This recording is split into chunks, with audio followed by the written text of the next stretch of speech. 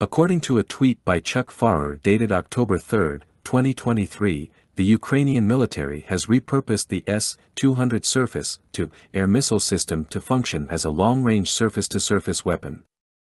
These modified missiles have been used to target Russian forces in occupied territories of Ukraine. The first images, showing the launch of a modified S-200 missile, were released by Ukrainian television.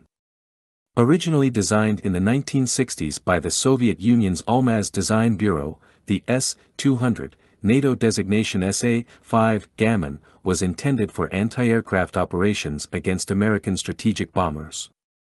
The Ukrainian military decommissioned these systems in late 2013 due to their moral and physical obsolescence, but reintroduced them into service in 2018. The S-200 has been in service for over six decades. The modified missile has now been adapted by Ukrainian forces to serve in a surface-to-surface -surface role. The modified S-200 missile weighs approximately 7,108 kilograms at takeoff and can deliver a 217 kilograms high-explosive blast-slash-fragmentation warhead. It is powered by a 5D-67 liquid-fueled sustainer rocket engine and is assisted by four solid rocket boosters that separate after the launch phase. The missile's navigation systems have likely been augmented by GPS and inertial guidance to improve accuracy. The modified S-200 has a declared range of 250 to 300 kilometers against air targets, and it is believed that the range against ground targets could be 482 kilometers. The Russian Defense Ministry has openly stated that the attacks were carried out by the Kiev regime with these modified S-200 missiles, although Kiev has not claimed responsibility for such attacks. Ukraine also reportedly modified the launch platforms to increase the missile's mobility, making it a more versatile weapon in the ongoing conflict. This modification would allow faster deployment and increased operational flexibility, unfortunately, we do not have more information on these modifications. Ukraine has a small stockpile of these missiles, but it is also noted that allies like Bulgaria and the Czech Republic have large stocks of S-200s. The modification of the S-200 missiles marks a significant development in Ukraine's military capabilities.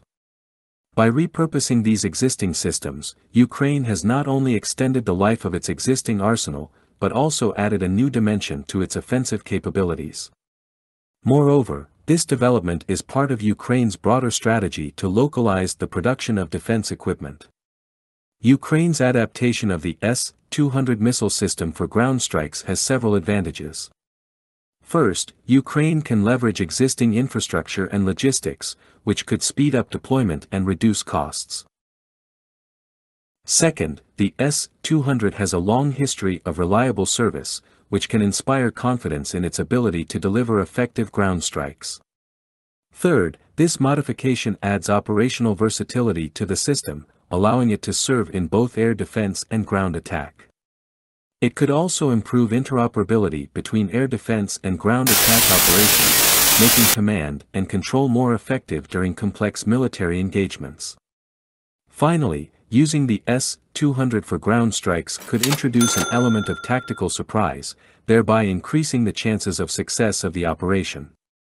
As a reminder, the original missile system includes a two-stage missile with a semi-active radar homing guidance system. It comes in different variants, including the 5V21, 5V28, and 5V28V. The 5V28V variant has specific specifications such as a mass of 7,100 kilograms, 15,700 pounds, length of 10,800 millimeters, 35. 4 feet, a maximum operational range of 300 kilometers, 190 miles, a flight altitude of up to 40,000 meters, 130,000 feet, and a maximum speed of Mach 8, 9,800 kilometers per hour, 6,100 miles per hour.